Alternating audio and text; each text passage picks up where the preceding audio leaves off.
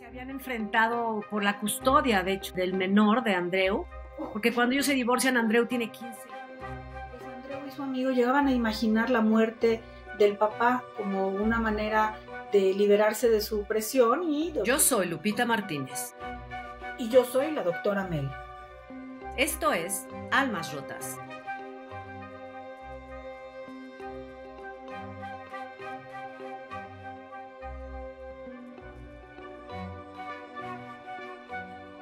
Pues hoy vamos a hablar nada más y nada menos de, que este, de este suceso tremendo del empresario Andreu Colbenazar, que fue encontrado muerto dentro de su camioneta Land Rover a 15 kilómetros de distancia de su domicilio en Alaró, en Mallorca. Oye, sí, y al parecer todo había sido un robo, ¿no? Aparentemente porque le habían quitado sus anillos que siempre llevaba con él y un reloj eh, Rolex, muy costoso evidentemente, que usaba todos los días pero por alguna razón la policía tuvo sospechas y decidió investigar a mayor profundidad y de eso es de lo que vamos a hablar hoy. Y de lo que hemos visto en los casos que hemos estado revisando en la temporada pasada y en los programas que hemos hecho, eh, generalmente la policía revisa a la gente más cercana porque lo más importante, además de la víctima, es el motivo. Y este caso no es la excepción y también investigan a la familia. El empresario Andreu Andreu Gol Benazar, que vamos a, distinguirlo como Andreu padre. Tenía tres hijos, Tony de 21, Ainara de 23 y Andreu. Andreu tenía 18.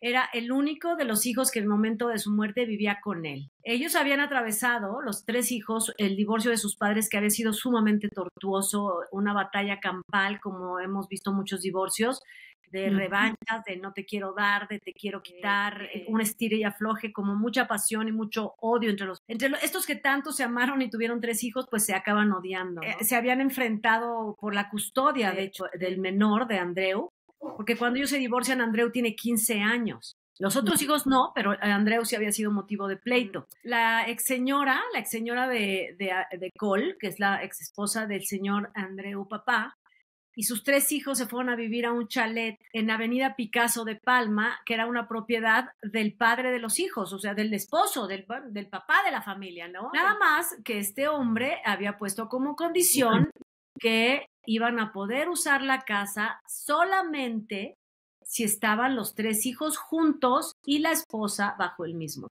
Andreu, que había sido el que había estado la custodia en medio de todo este pleito, dijo, oye, pues no, no, no, papá, a mí esto de las condiciones no me gustan y me voy a ir a vivir con mi mamá. La verdad es que no le gustaba la actitud de su padre tan prepotente, porque eso sucede en estos tipos de, de casos, ¿no? Que el dinero, el poder es lo que manda y pues Andreu en ese momento no se dejó seducir y se regresó a vivir con la mamá.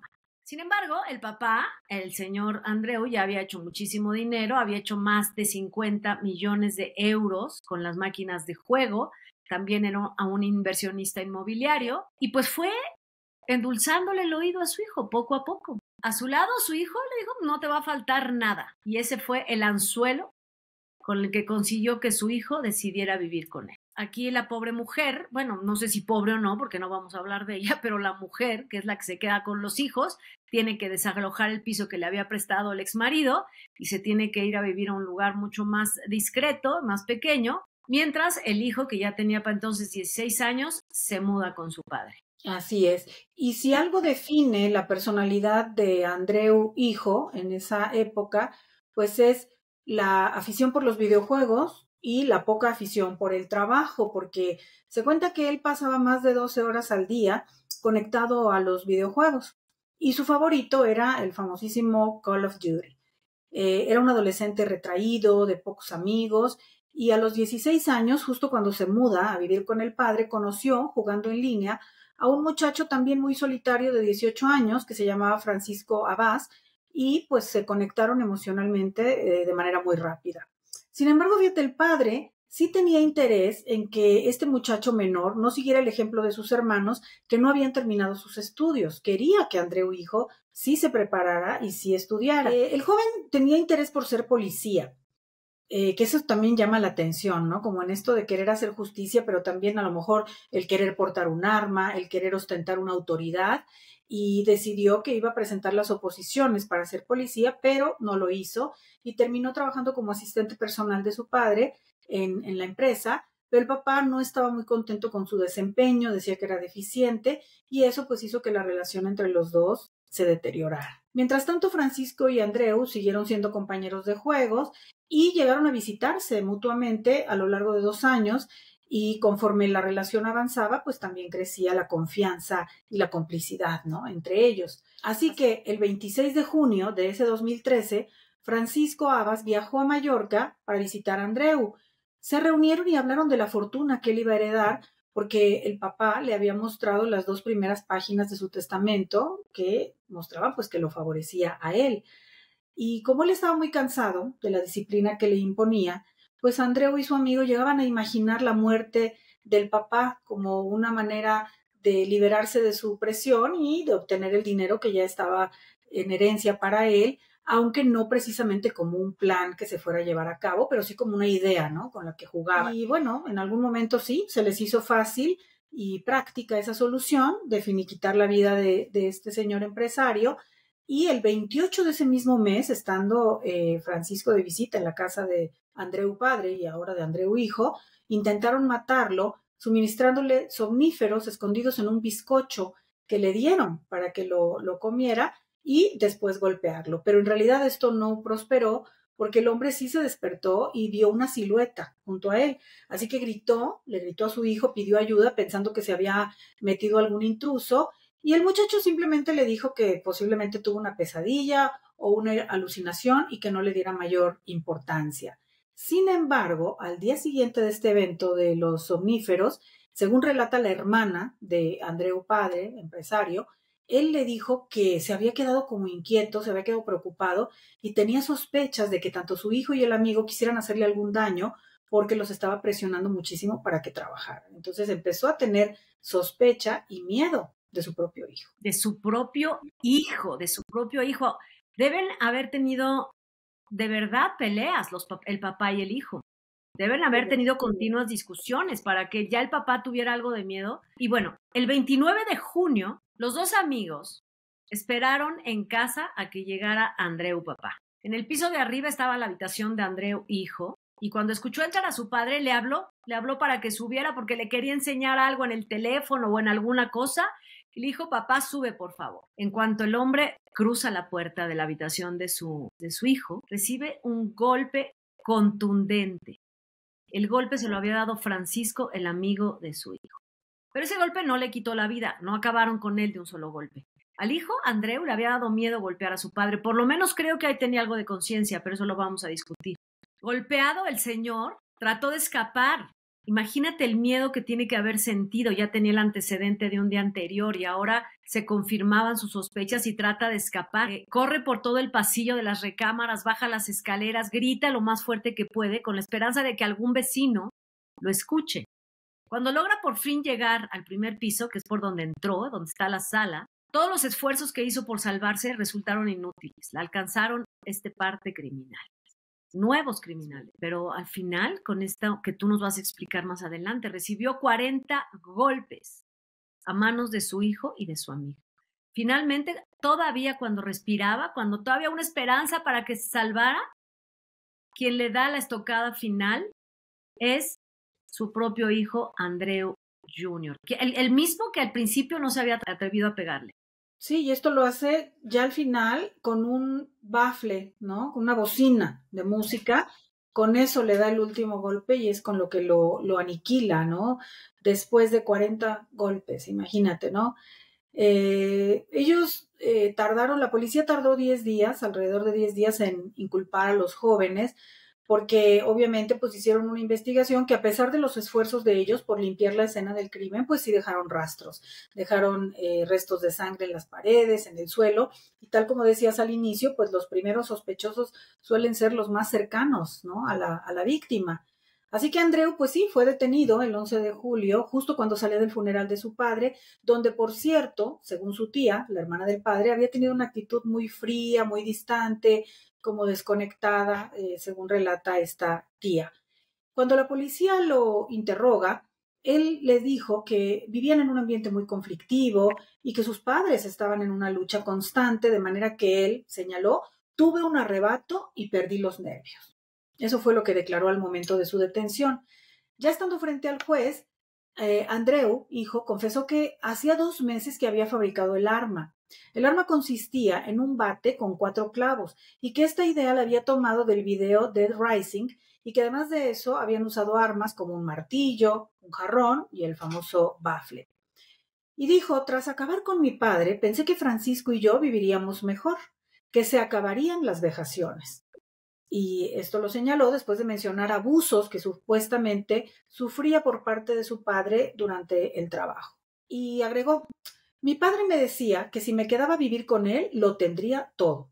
Tendría una buena vida, dijo y decidió mudarse con él por, pues porque tenía el dinero, ¿no? Pocas semanas antes del crimen, eh, la, la hoy víctima había cambiado su testamento y había puesto a este hijo menor como su heredero universal.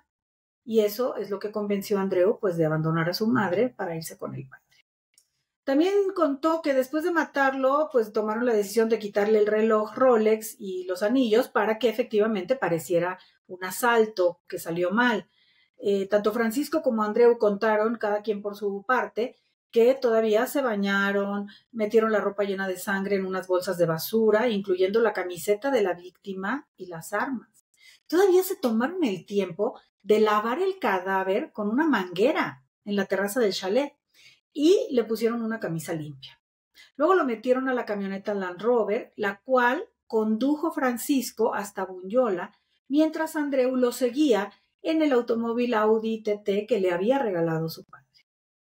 Regresaron y en el camino se deshicieron de las bolsas de basura en distintos contenedores eh, y cuando volvieron a la casa, pues trataron de limpiar la escena del crimen lo mejor que pudieron, pero eso no fue suficiente porque la Guardia Civil los descubrió pues, a través de pruebas muy minuciosas. Eh, Andreu insistía en justificar su crimen, asegurando que el padre lo humillaba, que le decía que era un inútil, un desecho social y que lo obligaba a trabajar más horas que a los demás empleados, alegando que familia es familia. Abbas, por su parte, afirmó que él actuó por amor, porque él estaba enamorado de Andreu, a pesar de que se había resignado a ser solo amigos. Eh, para sorpresa de Andreu, Francisco también dijo que el padre no humillaba a su hijo, que sí discutían y que además Andreu sabía que si se iba de casa perdería el dinero y que por eso la única solución que quedaba era matarlo. Y era lo que habían platicado, Mel, e, era la solución que le había dado, habían fantaseado con esto. Eh, y después del juicio, ellos negaron tener una relación sentimental, ¿no? Sí, porque Andreu decía que él era heterosexual, a pesar de tener esta relación tan cercana y al parecer exclusiva con Francisco, porque no sabemos que hubiera una novia o alguna una chica por allí, ¿no?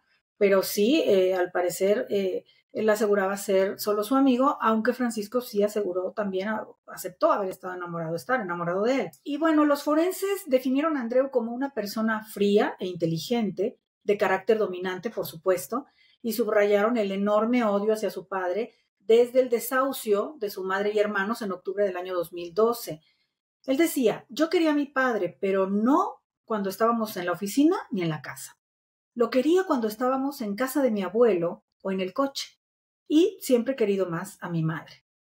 El informe médico forense y el análisis de un psicólogo arrojaron que Andreu Coltur y Fran Abbas sabían lo que hacían cuando mataron al padre de Andreu y sabían las consecuencias que tendrían sus actos. Pero bueno, claro, ahorita lo vamos a platicar, pero claro que lo sabían si fabricaron el arma, ya lo habían platicado antes. Eh, y yo tengo tantas anotaciones que te voy a preguntar ahorita con respecto a Andreu, hijo, pero bueno, el móvil. La heredera finalmente fue la hermana del difunto, del padre Andreu. E, ella no podía creer lo que había sucedido. Se refirió a su hermano como un buen hijo, un buen padre, aunque reconoció que sí era muy firme en los negocios, lo cual no lo veo yo mal, pero bueno, a lo mejor era demasiado exigente, pero lo normal, ¿no? Cuando tienes 50 millones de euros, ha de ser porque eres muy exigente con tu trabajo. Dijo que tenía eh, obsesión por la formación de su hijo Andreu, era el menor, y por eso era exigente. Y la hermana dijo que sí lo quería, que sí quería a su hijo. Y yo creo que debe haber querido a los otros, pero que sí quería a este hijo. Luchó por su custodia cuando tenía 15 años, por eso dice la mamá, la, hermana, me extraña. La hermana dice que eh, Andreu padre premiaba a su hijo cuando tenía éxitos y que lo apoyaba cuando no le iba bien. Al parecer el pleito entre los padres de Andreu era extensivo con la familia del padre, eso decía la hermana, porque dice que pues ni Andreu ni sus hermanos, a la hora de la muerte de Andreu padre, se preocuparon por el abuelo, que lo único que hicieron fue ir a ver la caja fuerte, a ver qué había, preguntaron por la herencia y cuando llegaron al funeral ya llevaban ellos un abogado. Después del juicio, Andreu perdió todo el derecho sobre la herencia. Fíjate, y este era el móvil. Mientras sus hermanos van a tener que apelar en los tribunales por la herencia de su padre.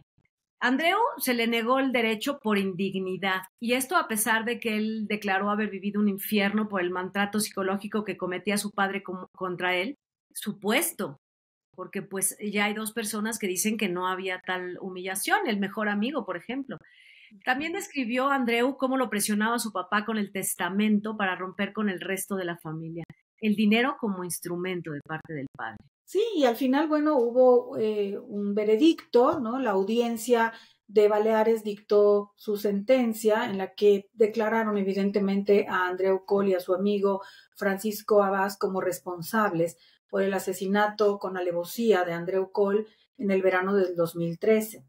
Andreu fue sentenciado a 17 años y 6 meses de prisión, es decir, un año más que su amigo, por el agravante del parentesco, que esto evidentemente pues, es fundamental en, estos casos, tanto desde el ámbito jurídico como desde el ámbito del análisis psicológico que, que pretenderemos hacer en un momento. Y bueno, a Andreu se le ha prohibido acercarse o comunicarse con la hermana de la víctima, su tía, y a la cual, por cierto, también debería indemnizar con 90 mil euros por responsabilidad civil.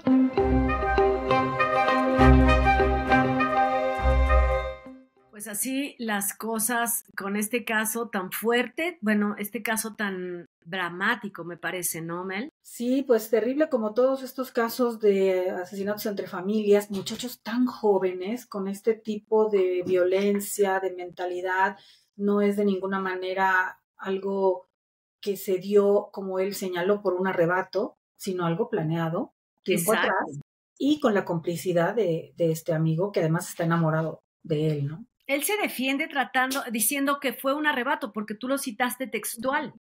Fue un arrebato de un momento, pero no es cierto, habían preparado las armas, ya había fantaseado con que muriera su papá. Aquí hay una cosa que señalan también, que parece que empieza a odiar al papá a partir del desahucio de la mamá, a partir de que le quita la casa. Se siente impotente y, y, se debe haber sentido un instrumento del papá para la venganza, ¿no? Ha, de haber dicho, a ver, este tiene dinero, al único que puede pelear es a mí, me seduce con dinero, pero destroza a mi mamá, a quien yo quiero más, y odio a mi papá. Sí, y, al mismo tiempo no, no creo que se haya desarrollado ese odio eh, espontáneamente en ese momento. Yo creo que ya venía de tiempo atrás y esto fue como ya la gota que derramó el vaso, porque la verdad es que la, la relación entre padres e hijos varones es muy particular, como la de las madres con las hijas.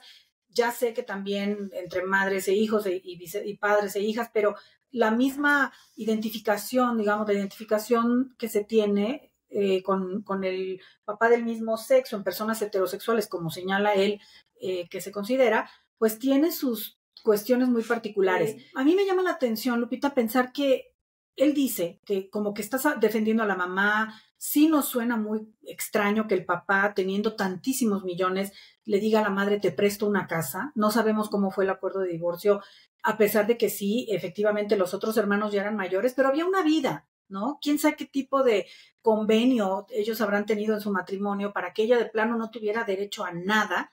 o era una mujer que tampoco trabajaba, que no tenía bienes propios, no lo sé, pero a mí me llama la atención que el papá dijera que quería que Andreu sí terminara sus estudios y no siguiera el ejemplo de los hermanos. Quiere decir que ahí ya hay una estructura familiar fallida de, desde antes y que la mamá, de la que no sabemos gran cosa, algo tuvo que ver. Porque el papá dice, tus hermanos no estudiaron, pero si tú te vienes conmigo, tú sí vas a estudiar.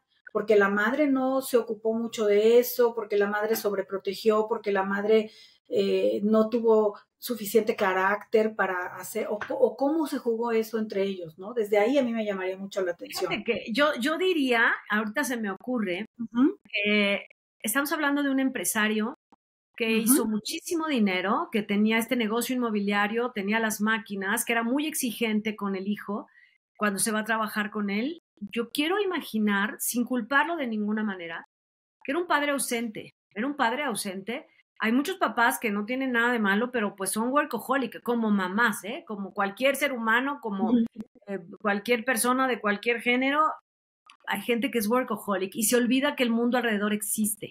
Y cuando quiere eh, hablar con los hijos, pues los hijos ya no están, ya no los conoce, ya, no, ya lo habíamos platicado en otro programa, pero yo creo que lo que a lo mejor pasa con el papá es que hay una gran distancia con sus hijos precisamente porque se ha dedicado todo el matrimonio a acumular esta fortuna que no está mal, pero pues pierde comunicación y al que le queda por rescatar pues es al menor. Cuando se divorcian tiene 15 años y es al único que le puede lanzar el anzuelo del dinero. Exacto. Y los hijos grandes, pues no me voy contigo porque no te conozco. Sí, totalmente. Mm, e incluso con este chico ya a los 15, 16 años también ya se había perdido muchísimo, como, como se vio finalmente.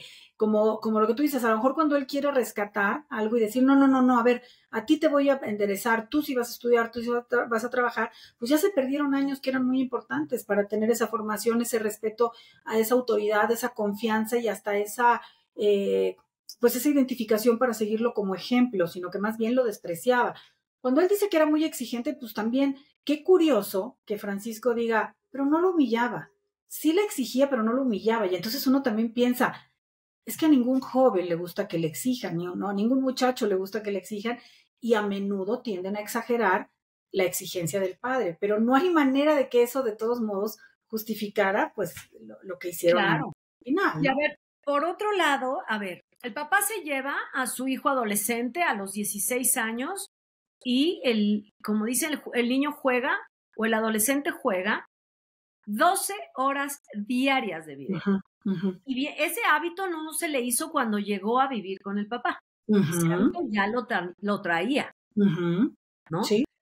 Tan, eh, está tan metido ahí, definen a Francisco como un solitario, también Andreu es un solitario, no tienen vida social, no tienen habilidades sociales, tanto que Francisco se enamora de Andreu, era su gran compañía. Andreu no se enamora porque dice que es heterosexual, pero no tiene vida social porque una persona que pasa 12 horas conectado a un juego de video, pues no tiene una vida social. Como tú dijiste, seguramente 12 horas duerme y, 12 horas juega, ¿no? Entonces el papá se lo lleva y yo quiero que estudie, yo quiero que hago, pero ¿qué opciones le vas a dar?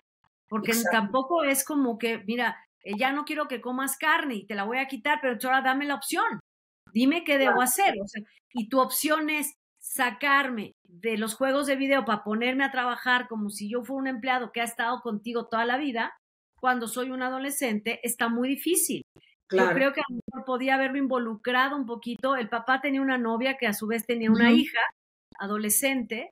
Eso no viene aquí porque yo creo que nadie los quiso involucrar porque no tenía por qué pero el papá tiene una vida hecha, ¿no? Y entonces trae al hijo y quiere que de la noche a la mañana el hijo sea lo que él quiere. Y esta persona, y este Andreu, hijo, que no tiene ningún tipo de habilidad social y que al parecer no tiene ningún respeto por autoridad porque pasa tantas horas, nadie le ha dicho nunca deja de jugar, nadie le ha dicho nunca ve a la escuela. Probablemente la mamá a la hora que pierde todos los beneficios económicos del de parte del padre, pues se pone a trabajar y, está ausente, o por la razón que sea, ¿eh? porque le gusta irse de fiesta, por la razón que sea, hay una ausencia. Aquí hay un abandono. A, Andreu está abandonado por la mamá y por el papá, porque una persona que pasa, insisto, y aunque si no es repetitivo, una persona que pasa tantas horas conectado a un aparato es porque está solo. Sí, y además, exacto lo que estás diciendo. No importa tanto, o sea, sí importa, pero no es lo primordial ¿Por qué la mamá no estaba más atenta a que él jugaba 12 horas o por qué el papá no estaba más atento? El punto es que no lo hicieron. Hay muchos papás que trabajan, muchas mamás que trabajan, pero están al pendiente de eso y de ninguna manera te contarían así, pues sí, se pasaba 12 horas jugando videojuegos. Es que no. O sea, yo he sabido de papás que hablan con los hijos y no puedes jugar más que tal. El hijo no hace caso, le han apagado el internet. Claro. Les quitan la computadora, los meten a clases de a ver qué, o sea, y aunque no quiera, no quiere ir, pero lo voy a llevar a jugar tenis, porque tienes que hacer deporte, te tiene que dar el sol, tienes que estar con gente. Eh, le dicen, vas a terminar, no sé, en este caso a lo mejor el bachillerato, pues aunque sea abierto, pero te, pues ahí sí, te obliga de alguna manera, pero te arrancan de esta conducta adictiva, eh, solitaria y además violenta persistente, lo cual también abre una discusión muy importante que ya se ha trabajado en muchos foros de que si los videojuegos inducen a, al crimen por sí solos. No, no, porque entonces las películas que ven también de guerra inducirían, y por qué no las de música vuelven artistas a todos, no, es una sumatoria, como siempre hemos dicho, de muchas cosas. Pero tal como tú señalabas, un joven sin habilidades sociales, sin una red alrededor de apoyo que normalmente es algún primo, llevarse bien con una abuela, con una tía, sus pares, que son muy importantes en esta edad adolescente. Si no hay nada de eso, hay un vacío absoluto y solamente hay un estarse mirando a sí mismo como este máquina de matar que él se autonombraba en sus personajes en los videojuegos, pues el mundo se vuelve así de cerrado y así de chiquito. Y tal como el video, en el videojuego, ahí sí, el único camino para, entre comillas, acabar con tu enemigo, pues es quitarle la vida. A pesar de que la policía y los forenses dicen que ellos tenían conciencia absoluta de lo que estaban haciendo y las consecuencias, sí tenían, sí sabían lo que iba a pasar, sí sabían que iban a matar, pero no tenían la conciencia a largo plazo, porque no, no estaba matando a Andreu porque te odio y quiero acabar con tu vida, porque no, te, te quiero matar para quedarme con tu dinero y vivir con mi amigo. Sí. Y eso es irreal, eso es una, a todos es una fantasía. Sí, pero mira, yo creo que cuando ellos dicen, exacto, sabían las consecuencias, se refiere a que no estaban bajo el efecto de ninguna sustancia, al parecer no estaban, eh, no eran portadores de algún trastorno específico de, diagnosticado, donde se diga, ah, bueno, mira, tenían este problema, tenía alguna cosa esquizoide que los hacía alucinar y en medio de la alucinación pensaron hacer esto fuera de sí, ¿no? A eso se, se refiere, pero tienes razón, porque él mismo lo dice. Yo pensé, pues quitamos al estorbo y entonces Francisco y yo viviríamos, viviríamos felices. Así lo dijo, eso es lo que creían. Y eso es una verdadera tontería porque efectivamente no, no, no iba a pasar, o sea, claro que los iban a atrapar. Entonces ahí, ¿qué es lo que hay? Inmadurez, eh, falta de, de visión, de este pensamiento crítico que te hace decir, si hago esto, ¿qué consecuencias pueden tener? Por mucho que deseo no hacerlo, ¿qué me va a pasar a mí? Entonces, lo mismo, ¿no? Ni disfrutó ni del amigo, ni del dinero, ni de regresarle a la casa a la mamá, ni de absolutamente nada, porque eso no lo alcanza a mirar una persona tan limitada en estas habilidades necesarias para pues la solución de problemas en la vida cotidiana y, más y más allá de ellos, ¿no? No lo tenían, pero sí hay una indiferencia, como tú dices, un abandono tanto el padre, la madre y hasta en un momento dado de los hermanos mayores de decir como un hecho eh, inamovible o, fuera del alcance de nadie, él juega 12 horas al día videojuegos. Y, claro, no nada. ¿Por qué nadie hizo nada? La tía, la tía dice que le extraña muchísimo, que, y critica, fíjate, critica a los hermanos que solo se han preocupado por la herencia, pero perdón, este, señora eh, tía, pero resulta que lo que ha venido siendo la vida de esta, de estos tres hijos a lo largo de los últimos años ha sido el dinero. Claro. El papá los ha manipulado con dinero los ha prestado una casa, se las ha quitado, los ha desahuciado para que se vayan a vivir a otro lado, ha comprado al hijo enseñándole el testamento, haciéndolo heredero para fastidiar a la mamá. Ese ha sido el móvil y ese fue el instrumento que usó el papá. Así que no está bien, pero no me parece raro de, parte de, los hijos que sea su, su interés próximo, ¿no? seguro estaban enojados con el papá también. Ahora siento que hay una desconexión de la familia paterna con los hijos ellos dicen se tenían que haber preocupado por el abuelo, pero tú cuándo te preocupaste por un por tu sobrino? Exacto. por otro lado, ¿no te parece raro que tu sobrino o que tú, a lo mejor vamos a descartar a la tía, pero el papá, ¿no te parece raro que tu hijo no tenga más amigo que uno que va y viene, que tu hijo va a visitarlo y él viene a visitarlo y es lo único que tiene en el mundo? ¿Es lo único que tiene como, ¿no te parece raro una cosa te alarma y te, claro, te alarmas cuando ves una silueta y crees que tu hijo te puede hacer algo. Es que en el fondo ya sabes que tu hijo no está bien. Y, sí, y seguir sin hacer nada, ¿no? Qué terrible. Porque también aquí pudo haber dicho, lo voy a llevar con un especialista que le haga una evaluación de por qué no puede trabajar como yo espero, por qué no pudo seguir estudiando como se supone que yo quería que estudiara, por qué está metido todo el día en estos videojuegos que seguramente el papá, que si era muy trabajador, le parecía mal. Y entonces, si él no podía, como papá o en su momento la mamá, si ellos no podían con eso o no sabían cómo, cómo manejarlo, ¿por qué no acudieron también a un especialista para saber, oiga, este por qué no tiene amigos? Exactamente, ¿por qué no se interesa en otras cosas? ¿Por qué no sale al aire libre? ¿Por qué no va de fiesta? ¿Por qué no tiene novia, novio, lo que sea? No, no hay acción ahí, ¿no? Y lo que sí, Lupita, creo que definitivamente eh, también algo que aquí me parece particular del caso, porque cada caso que hemos revisado ha tenido muchas similitudes, pero también sus aspectos muy, eh, muy propios en este caso, pues volvemos a la figura de, que hablaba Jacques Lacan de la famosa folía dúo, la locura de dos, que las personas que no dominan mucho pues, el tema piensan que son dos locos iguales que se juntan para hacer algo, pero, pero de acuerdo a lo que Lacan estudia, no es necesariamente así. Sí comparten muchas cosas, como en este caso la soledad, la afición a los videojuegos, pero por ejemplo, mira, uno se enamora y el otro no. Y en ese momento se establece en esta folía dúo una asimetría que es necesaria para que se lleve a cabo un acto de esta magnitud. Y en esa asimetría, pues hay un líder, que en este caso es el propio eh, Arnau, y hay un eh, comparsa, que en este caso es Francisco, que es el que lo hace, él dice por amor, ¿no? Pero bueno, también está bastante mal de su organización en la estructura mental para por amor hacer algo tan horrible y criminal y sangriento, ¿no? Pero, pero es así, o sea, uno jala al otro curioso también cuando decías, el primer golpe no se lo da, no se lo da Arnau a su padre, pero sí le da el último. Claro, le da miedo empezar, pero no le da miedo terminar. Eh, yo creo que algo que hay que subrayar, y lo dijiste claro hace ratito, no, no es el juego, porque como, eso me encantó cuando dijiste, pues, si, los, si viéramos una película de artistas, pues todos nos volveríamos cantantes o artistas, pintores, pues, y no es cierto, efectivamente. no es el juego, no son las sustancias, es lo que trae adentro la persona.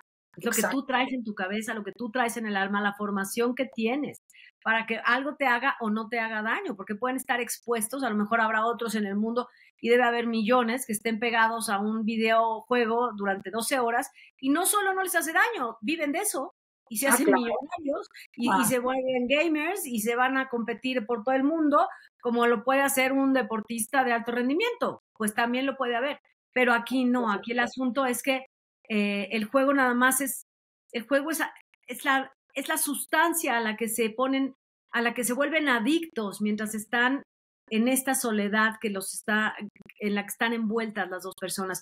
Y Andreu manipula terriblemente, Andreu manipula a Francisco cuando se da cuenta que está enamorado de él. Totalmente, mira, es exactamente lo que estás diciendo, hablando de adicciones, por ejemplo, clásicas, ¿no? De adicciones a sustancias, a alcohol, a estupefacientes, a lo que tú quieras.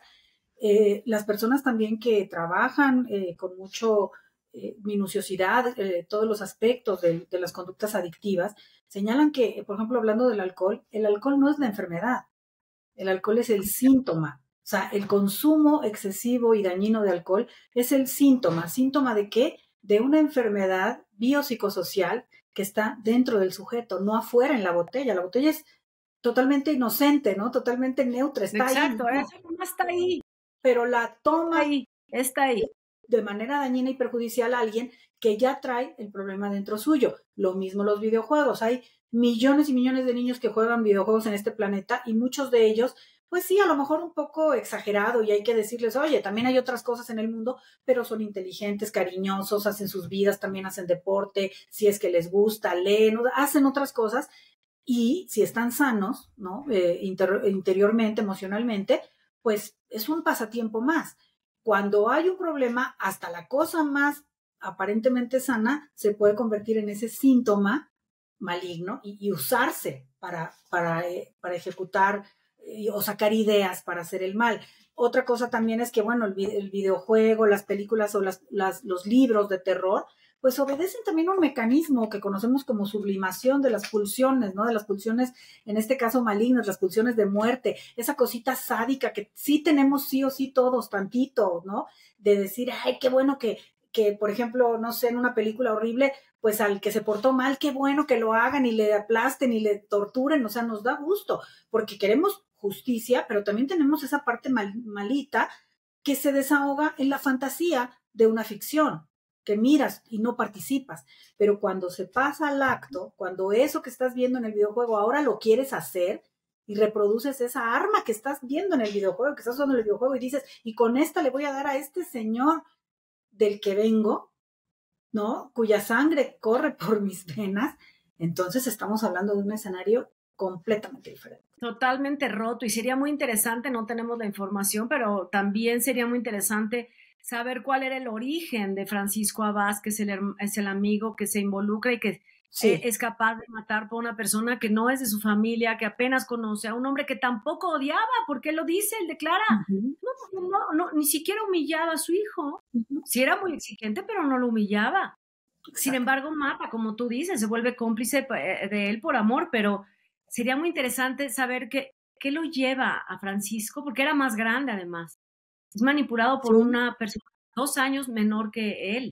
Para cuando sucede el asesinato, Andreu tiene 18 y Francisco tiene 20 ya. Y, eso, eso sería muy interesante también saber cómo fue su vida, por qué llega a eso, por qué es capaz de matar, sí, el amor y todo, pero por qué no piensa en, en su vida, en lo que trae atrás, en la familia que debe tener. Sí, ¿no? Y además uno puede amar mucho a alguien, pero si uno está bien armado emocionalmente y se le han eh, podido imprimir valores, límites, te digo, empatía, compasión, lo que decimos siempre, pues por muy enamorado que estés, hay barreras que tú no cruzas. Hay barreras que no, no nos atreveríamos nunca. Y, cuando te comenté, cuando estábamos haciendo la descripción del asesinato, que Andreu no se atreve a dar el primer golpe, como lo comentamos hace ratito, yo hubiera pensado que ya tenía un poco de conciencia, que hubieran parado, pero no lo hicieron. No lo hicieron. Pero pues no, olvida 40 golpes. 40 golpes ya demuestra muchísimo odio. Muchísimo. Es como, explícame, a ver, es, es como tener un blackout. Yo, hace muchos años, yo estaba viendo un caso en un canal que decían, eh, lo mató con 96 puñaladas y entonces la señora decía es que fue sin querer. A ver, pues 96 puñaladas no pueden ser sin querer. Entonces un psicólogo explicaba qué es eso, o sea, una vez que das, es que es como que pierdes la noción. Y te, y te ¿qué, ¿qué, es lo que te envuelve que hace que no puedas parar? Sí, yo lo que diría, yo como psicoanalista diría eso, es que se instala la pulsión de muerte y, y, y hace cuenta que le da de codazos a todo lo demás, ¿no? Quita todo lo demás. El momento primero de, ay, no me atrevo, porque además imagínate, yo creo que el primer golpe es cuando el papá entra a ver supuestamente lo que le va a enseñar del celular, seguramente había un cruce de miradas ahí, Lupita, y algo que sí es bastante impactante eh, cuando todavía hay cierto grado de conciencia en las personas, es la mirada del otro, ¿sabes? Cuando el otro te ve a los ojos, es como si te diera una validación, existes para él. Por eso, cuando vamos a una oficina, por ejemplo, a hacer un trámite y la persona no nos voltea ni a ver, ¿no? Sí que quiere y está agachado, uno se siente muy mal porque uno quiere que lo mire a los ojos, pero cuando tú vas a agredir a ese que te está viendo, ¿por qué crees que luego en las películas ponen que los delincuentes le dicen a sus víctimas, no me veas, ¿no? no me mires a los ojos, agacha la mirada. Dice, es para que no lo reconozca después. No es nada más eso. Es que la mirada es como la entrada de la conciencia que te dice, oye, soy un ser humano, estoy aquí frente a ti. Imagínate si es tu padre. Entonces yo pensaría que este muchacho lo que no toleró es la mirada primera del padre cuando llega a entregarse como un cordero a esta muerte que, que le esperaba por manos de estos dos y por eso no se atreve. Cuando ya lo tienen más o menos vencido, entonces sí, ahora sí le puedo dar porque ya está vete tú a saber en qué condiciones, ¿no? Em, y por qué, te digo, por qué se siguen, como dices tú, por qué no diez golpes y ya, uno bueno, no sé, pues porque ya esta cosa violenta, pulsional, instintiva, como animálica, se apodera completamente de la persona se apodera. Por eso hay, hay, gente que también dice, mira, yo no lo pensé, pero haz de cuenta que como un animal grité, me salió un aullido. Es eso, o sea, nuestras partes más instintivas, más primitivas, se adueñan de nuestro actuar y borran por completo todo lo demás. Por eso también en las películas vemos cuando dicen, ya, ya, para, ¿no? Ya es suficiente, ya se murió, ya, y, y sigue, sigue, sigue, como una, una especie de inercia destructiva que es como un tren descarrilado que ya no para. Claro, oye, por eso es preocupante cuando vemos en las noticias que alguien se baja de su coche y empieza a golpear con un bate las, las el parabrisas de otro coche. Eso ya es barbarie, es no tener ningún tipo de conciencia, ¿no? Es ya actuar ya por instinto absoluto. Pues muy fuerte este caso de eh, Andreu Cole, un parricida, un parricida más. Esta es de las cosas que yo no entiendo, pero pues que hemos platicado aquí y creo que de los más de los más fuertes y que todavía también yo yo yo me quedo con muchísimas dudas porque al final de cuentas no veo realmente como de dónde vino todo esto, ¿sabes? No lo alcanzo a ver, no me parece suficiente ninguna de las motivaciones que este muchacho expresó por mucho que tu padre, ay, es que me decía que era un inútil en el en el trabajo. Pasa de límites, tiene mucho que ver con falta de límites, abandono, eh, y una gran tristeza. Este chavo debe haber estado muy deprimido a mi forma de ver, pero no hay más información como tú dices. A ver si más adelante, como, como pasa a veces, se, se investiga un poco más, como decimos siempre, sería muy importante seguirlo entrevistando ahora, que, pero que lo entrevistaran profesionales, que le hicieran valoraciones. Ya al cabo, sentenciado ya está, pero valoraciones para saber exactamente qué pasó en esa mente, ¿no? ¿Qué, qué puede llevar a alguien a, a terminar de esta manera. ¿no? Pues este ha sido un caso fuerte. Eh, Andreu Cole, asesino de su padre, un parricida más. Eh, muchísimas gracias, Mel. Y nos queda esta reflexión siempre. Hay que observarnos a nosotros mismos, observar a los demás, estar atentos a las señales que puedan mostrar los demás. Eh, si tenemos a alguien cercano que se sienta solo, que puede estar atravesando una depresión un momento difícil. Si no podemos nosotros ayudar, podemos canalizar o avisarle a alguien que sí esté cerca de la persona que se acerque. Sí, no, no voltear para el otro lado, ¿no? Como te digo, a veces las personas mm, le temen a los problemas grandes como estos y prefieren mirar hacia otro lado y, creer, como, como parece que pasó con este señor, pues le voy a exigir y le voy a decir, mira, vas a ser mi heredero, pero tienes que trabajar y ya, como si con eso lo pudiera lograr, en lugar de pensar qué le pasa a este muchacho que es tan eh, retraído, que es tan ensimismado, que no tiene otros intereses más que estar pegado ahí al video, que es, ¿qué le pasa? Algo pasa aquí. Pongamos atención a las almas que pueden andar rotas por el mundo. Y, y, hasta donde se pueda, no tirar la toalla nunca con un hijo, porque eso es nuestro, nuestro deber como padres, hasta el final, luchar por, por resolver lo que haya que resolver y salvarlos hasta donde sea posible. En este caso específicamente, Lupita, no tengo ni la menor idea de si se podría haber evitado. No lo sé, veo mucha gravedad aquí y muy poca información, muy pocos elementos para pensar, pero por lo menos si se hubieran atendido estas cosas, pues no habría quedado en, esta sensación que nos deja como de mucha indiferencia, ¿no? Como tú dices, de soledad, de poca atención, de abandono, por lo menos eso no nos quedaría. esa si se hubiera evitado, no estoy muy segura, porque aquí sí veo una muy alta gravedad. Bueno, pues ha sido el caso Andreu Cole y nos vemos la próxima semana con un caso más.